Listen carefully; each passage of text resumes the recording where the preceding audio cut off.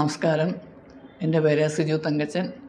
ഞാൻ പത്തനംതിട്ട ജില്ലയിൽ പ്രക്കാനത്തു നിന്ന് വരുന്നു.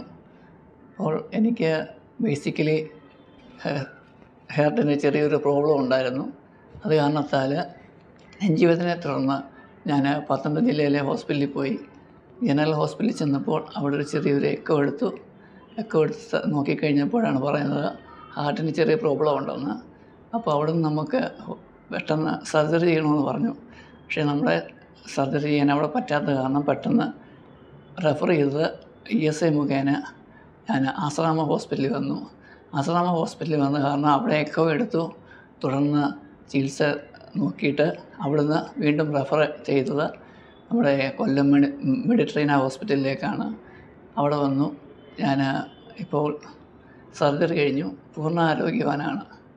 നല്ല രീതിയിൽ നടക്കാനും ഒക്കെ കഴിയുന്നുണ്ട്. നമസ്കാരം. എന്റെ പേര് ഡോക്ടർ ആകാശ്. ഞാൻ മെഡിറ്ററേനിയൻ ഹോസ്പിറ്റലിൽ കാർഡിയോതെറാസിക് സർജനാണ്.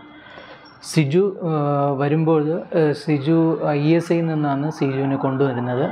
അപ്പോൾ സിജു പറഞ്ഞതുപോലെ സിജുവിന് ചെറിയ നെഞ്ചുവേദനയും ശ്വാസം മുട്ടലുമായിരുന്നു ഉണ്ടായിരുന്നത്. അപ്പോൾ ഇ എസ് ഐയിൽ എക്കോ എടുത്ത് നോക്കുമ്പോൾ സിജുവിന്റെ വാൽവിന് ലീക്ക് ഉണ്ടായിരുന്നു അയോട്ടിക് ഡിസെക്ഷനും ഉണ്ടായിരുന്നു. അതായത് അയോട്ടയിലെ അകത്ത് പാളി മാറിയിട്ടുണ്ടായിരുന്നു. അപ്പോൾ അയോട്ടിക് ഡിസെക്ഷൻ എന്ന് പറഞ്ഞാൽ കുറച്ച് മരണസാധ്യതയുള്ള വളരെയധികം അപകടകരമായ ഒരു രോഗമാണ്. അപ്പോൾ ഇത് ഇത് പറയുന്നത് ഏകദേശം ഒരു ശതമാനം മുതൽ രണ്ട് ശതമാനം വരെ മണിക്കൂറുകൾ കഴിയും തോറും മരണസാധ്യത കൂടിക്കൊണ്ടിരിക്കും. അപ്പോൾ സിജു വരുമ്പോൾ തന്നെ ഏകദേശം സിജുവിന്റെ മരണസാധ്യത അമ്പത് ശതമാനമാണ്.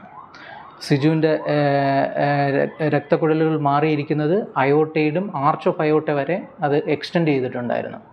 ഇപ്പോൾ അയോട്ടിക് വാൽവിന് ലീക്ക് ഉണ്ടായിരുന്നു. അപ്പോൾ ഈ aortic valve aortic root ascending aorta ഇതെല്ലാം സിജുവിന് മാറ്റിവെക്കേണ്ടി വന്നു.